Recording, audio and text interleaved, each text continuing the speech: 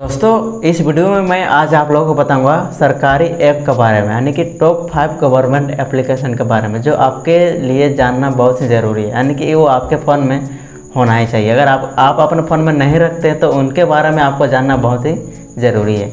नमस्कार दोस्तों, मेरा नाम है कैलाश, आप देख रहे हैं मास्टर तो चलिए दोस्तों वीडियो को शुरू करते हैं। मैं आप लोगों को टॉप फाइव एप्लीकेशन के बारे में बता देता हूँ, जो भारत सरकार द्वारा बनाया गया है। यानी कि भारत सरकार द्वारा बनाया गया है, वो अपने भारत सरकार में रहने वालों के लिए बनाया गया है। और बहुत लोगों को उस एप्लीकेशन के बारे में पता भी नहीं रहता। उन एप्लीकेशन के अंदर जितने भी सेवाएँ हैं, उन सेवाओं का लाभ भी नहीं उठा सकते, क्योंकि उनको पता ही नहीं रहता है। तो नंबर वन पे है डिजी लॉकर जी हाँ दोस्तों, आप लोग देख पा रहे हैं, ये प्ले स्टोर पर आपको जाना है डिजी लॉकर लिखना है। डिजी लॉकर लिखने के बाद मैं आप लोगों को बताना चाहूँगा, यहाँ पर सबसे पहले आपको साइनअप करना है। साइनअप करने के बाद यहाँ पर अपना आधार कार्ड को एड करना है। आधार कार्ड जब आप ऐड कीजिएगा तो यहाँ पे आपको कोई भी डॉक्यूमेंट्स आपको ऑनलाइन ही मिल जाएगा। चाहे आपका मार्कशीट हो, आपका ड्राइविंग लाइसेंस हो या तो आपका पैन कार्ड हो जैसा कि आप लोग देख पा रहे हैं। यहाँ पे जब आप साइन अप करके डैशबोर्ड आपको ओपन हो जाएगा तो यहाँ पे पेन रिकॉर्ड पे क्लिक कीजिएगा। पेन रिकॉर्ड पे क्लिक करने के बाद यहाँ पे अपना पेन नंबर लिखिएगा। उसके बाद जो भी आपका डेट ऑफ़ बर्थ है, उसके बाद बिना ओटीपी के ही आपका पैन कार्ड यहाँ पे ऐड हो जाएगा, बड़े ही आसानी से। इसमें कोई दिक्कत नहीं है। साथ ही साथ अगर आप मार्कशीट डाउनलोड करना चाहते हैं तो मार्कशीट भी यहाँ से आप आसानी से यहाँ पे यहाँ पे सर्च कीजिएगा और आप जिस भी स्कूल बोर्ड से हैं, वो आपको यहाँ पे नज़र आ जाएगा। वो स्कूल बोर्ड को आप सेलेक्ट कीजिएगा, उसके बाद आपको वहाँ पे रोल नंबर, रोल कोड लिखिएगा तो आसानी से आपको यहाँ पे ऐड हो जाएगा। जितने भी डॉक्यूमेंट्स आप ऐड करोगे तो यहाँ पे आपको नंबर इस डॉक्यूमेंट्स पे आपको दिखाई पड़ेगा।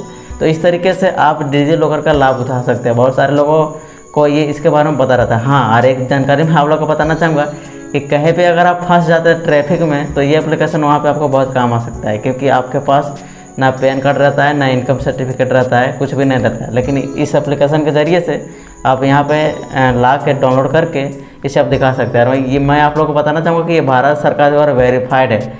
ये एप्लीकेशन हर पुलिस वालों को पता रहता है इस एप्लीकेशन के बारे में।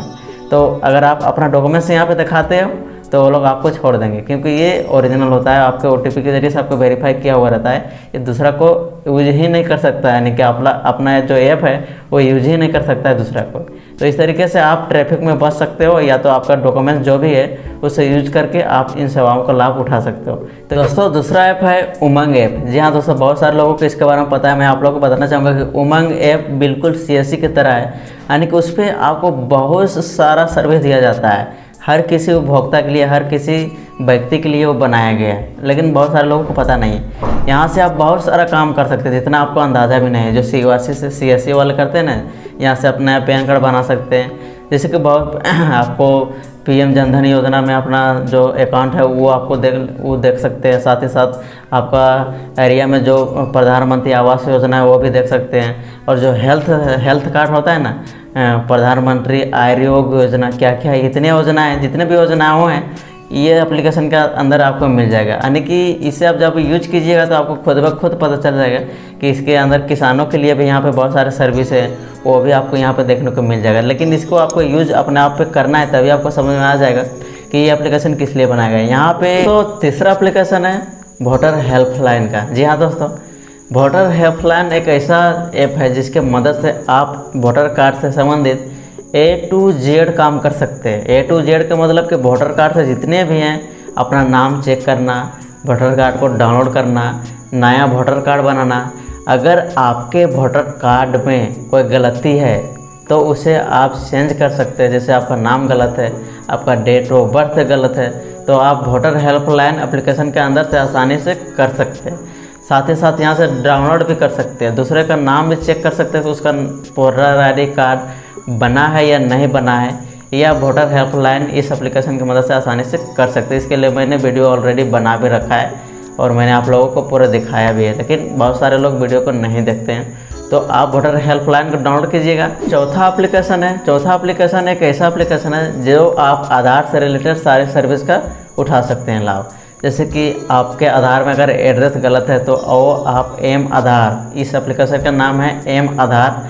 ये आपको प्ले स्टोर पर आसानी से मिल जाएगा। सारे एप्लीकेशन का लिंक आपको इस वीडियो के डिस्क्रिप्शन पर मिल जाएगा। वरना आप अगर डिस्क्रिप्शन में देना भूल जाऊँगा तो आप प्ले स्टोर पर जाइएगा। और जो जो मैं ऐप का नाम यहाँ पे दिखा रहा हूँ, जो थैमलन दिखा रहा हूँ, यही सर्च कीजिएगा तो आपको प्ले स्टोर पर आसानी से सभी एप्लीकेशन मिल जाएँगे। एम आधार एप्लीकेशन की मदद से आप करेक्शन कर सकते हैं। नया voter ID card appointment book करके आप नया वोटर आईडी कार्ड भी बना सकते हैं। साथ ही साथ मैं आप लोगों को बताना चाहूँगा कि यहाँ से आप आधार कार्ड को डाउनलोड भी कर सकते हैं। और आपका आधार कार्ड किस किस बैंक में है, वो सारा डिटेल भी यहाँ से आप एम आधार के ज़रिए से कर सकते हैं। तो अगर आप एम आधार का अभी तक यूज़ नहीं किए हैं तो डाउनलोड करके आप यूज़ कर सकते हैं। और जितने भी आधार से रिलेटेड सर्विस हैं, आप यहाँ से आसानी से ले सकते हैं एक एप्लीकेशन की मदद से।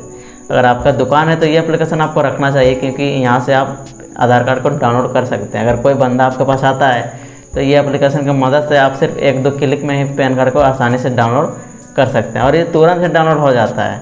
गूगल पे यूज़ करते हैं या तो फ़ोन पे यूज़ करते हैं तो सेम उसी तरह भीम यू है। कोई ज़्यादा डिफरेंस देखने को नहीं मिला। तो दोस्तों, और भी गवर्नमेंट का बहुत सारा एप्लीकेशन है, लेकिन मैं आप लोगों को पाँच एप्लीकेशन के बारे में बताया हूँ। तो मुझे लगता है कि ये पाँच एप्लीकेशन के बारे में हर किसी को पता होना चाहिए। तो दोस्तों, अगर ये जानकारी आपको इन्फॉर्मेटिव लगा है अच्छा लगा है तो इस वीडियो के नीचे प्यारा सा कमेंट कर दीजिए, जाइए कमेंट सेक्शन में, वहाँ पे जाके आप कमेंट कर दीजिए। साथ ही साथ इस वीडियो को अभी लाइक कर दीजिए, और हो सके तो हमारे चैनल को सब्सक्राइब कर दीजिए, ताकि मुझे पता चले कि हाँ यार, जो इस तरह का वीडियो बनाता हूँ वो आप लोगों को पसंद आता है और इस तरह का और भी वीडियो बनाने की कोशिश कर